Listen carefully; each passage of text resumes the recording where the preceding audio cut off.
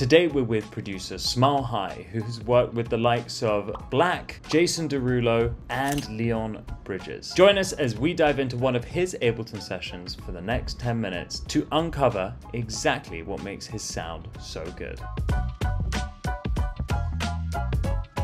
Hey Smiley, thank you so much for joining us today. How are you? I'm doing great. How you doing? Really good, thanks. Really appreciate you taking the time to join us here at Boombox, the home of collaboration. Where are you based? Uh, Los Angeles, California. And you seem to be surrounded by a plethora of amazing synthesizers behind you. What is your go-to out of what we can see there? Man, it depends on the day or the mood, but uh, if I have to bring one synth to a session. Versatility wise, I bring the Prophet Rev 2. I can kind of get everything I need out of that. Amazing. Well, we're going to dive into those synthesizers in a little bit more detail later, but let's start off with the session that you're going to be kindly sharing with us today. Would you mind telling us a little bit about it and then letting us hear it? I released an album last year called The Vibe Tape. It's a collaborative album with myself, my band, The Main Squeeze, and 15 uh, featured artists. This is a song from that album that I released last year. It's featuring Davion Farris and Coco Sarai. Sheesh. Uh, I've been needing a night like this. Uh, don't make me wait. If I diss you on, you must come get it. Me hear what you say. Two, one for me body when you deep, deep. Sheesh. When me right, when the cocky send me six feet. Sheesh. Sweet. When you cut down so. I'ma push up on it. Kiss it till you want it. Take me till the morning.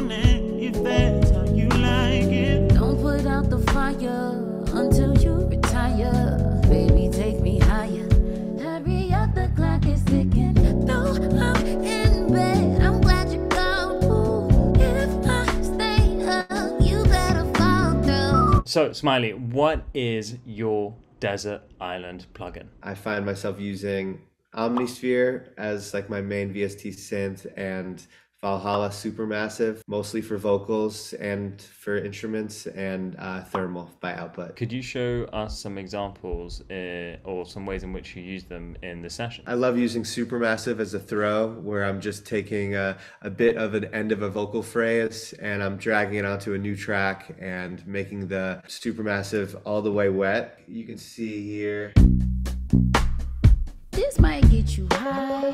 I'm just I'm just use I'm just putting it on like this word where it's just high. It almost sounds like uh, like a dub reggae delay. Is that where you got some of the inspiration from? I wouldn't necessarily say so, but I agree it does sound like that. Let's take a look at your other Desert Island plugin, which is Omnisphere. So for Omnisphere, I've been using this for years, and I actually have all all three Spectrasonics between Keyscape, Omnisphere, and Trilian. And if I could, I would just say all three as like I would, I would take Spectrasonics with me to the desert island. Um, yeah, there's a, a lot of cool stuff that I get from Omnisphere. Everything from synth sounds like. It's got some nice choir stabs my lead sound that I use on stage.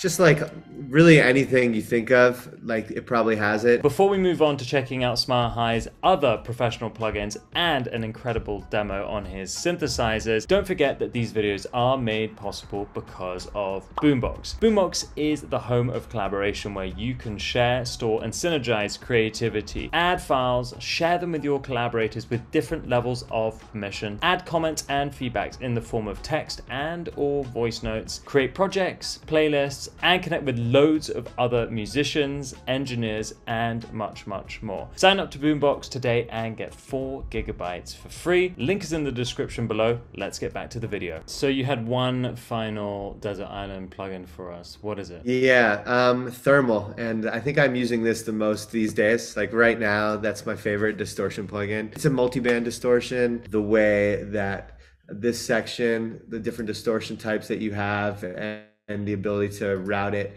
to LFOs or route LFOs to the different distortions so they have movement to them. And without it,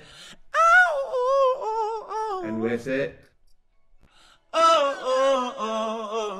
So it just like adds a lot of character. It there's like built-in delay in the effects. Just like get some really cool sounds. Can run a lot of things through it. Let's move on to your workhorse plugins. I'll I'll probably keep Valhalla Vintage Verb off of this, but they have to get an honorable mention because they are actually on every song, and that's similar also to Pro Q3. But some of the more fun stuff, God Particle, I'm using on every song now. This is the instrumental stems with nothing on the master.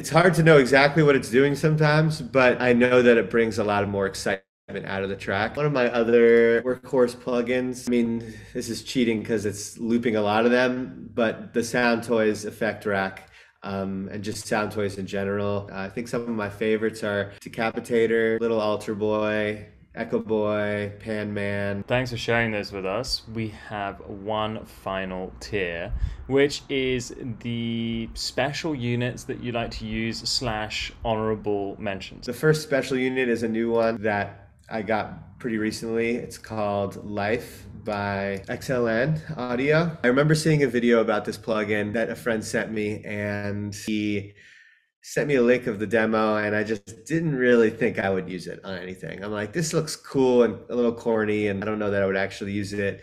And then we used it in a session at his place on guitar, and I was blown away with how how cool of a different pattern we were able to come up with. I bring up the app on my phone and I gather some instruments like the piano, a couple synth sounds that come out of my speaker, a couple drums, and my voice. I press record on the life and I give 15 seconds of different things. Uh, this 15 seconds was using my phone on a walk where the source signal sounds like this. Just walking down the street with my girlfriend. Um, we like snapped a little bit. We were like touching we were just messing it, messing around, and then a couple laughs, and that's 15 seconds, and then we bring it in, and right away, it just gives you so much stuff. So like, let's randomize it together right now. So versatile with the things that it could do between top loops.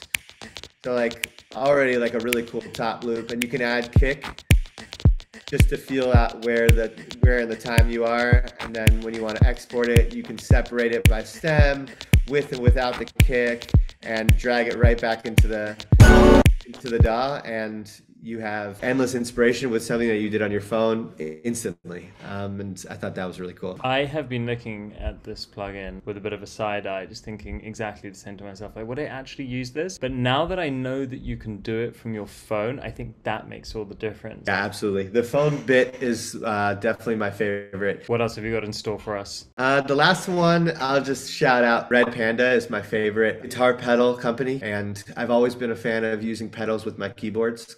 Keyboards is my main thing, and this is the dry sound with no reverb or delay. Um, it has a little vibe knob on it, but I'll turn that down so you can hear the very dry signal. And then from there, I'll add uh, a couple of the pedals. It loops it back immediately, and then you can add like synths on top of it.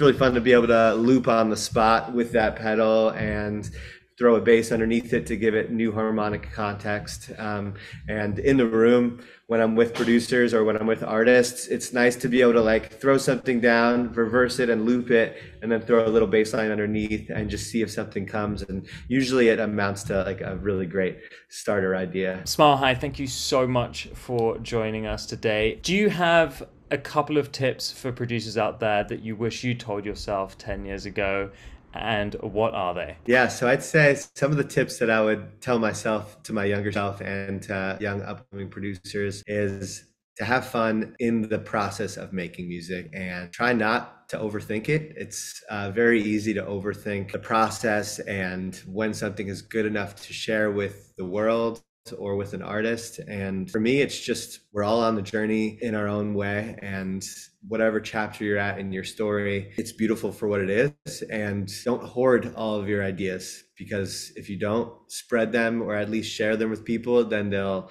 rot away on your hard drive and you'll never get the collaborations that you're hoping for. And just find your tribe and work together with artists and producers and instrumentalists and writers that uh, you vibe with. And uh, the rest will take care of itself. You heard it here first. Collaboration is the key to success, and no better place to do it than Boombox. Smile High, thank you so much for joining us today. This has yeah. been incredible, very eye opening. Great to see you using some familiar plugins that we all know and some not so familiar plugins and some incredible performances. So, thank you everybody for tuning in. Smile High, thank you for coming. Thank you. Appreciate you, man. It's been a pleasure as always. Welcome to Boombox, the home of collaboration. Peace.